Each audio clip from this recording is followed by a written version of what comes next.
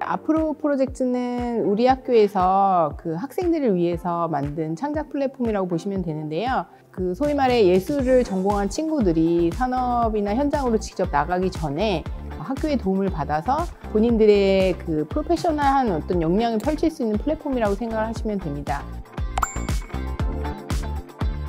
어, 녹음부터 시작해서 자켓 촬영 그리고 뮤직비디오까지 다 제가 앞으로 가수 활동을 하면서 너무 필요한 또 소중한 경험이었다고 생각이 들었습니다.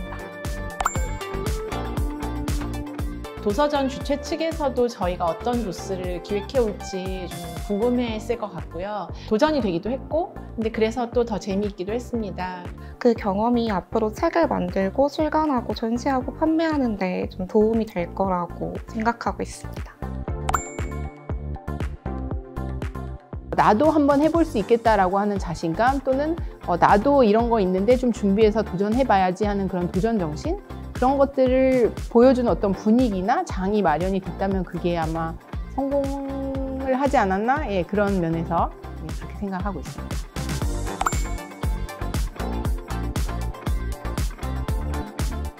학교 밖에서 진행을 하다 보니까 어, 훨씬 더 실질적으로 내가 알아야 되는 부분들, 부족한 부분들을 많이 채워갈 수 있어서 도움이 많이 되었던 것 같습니다.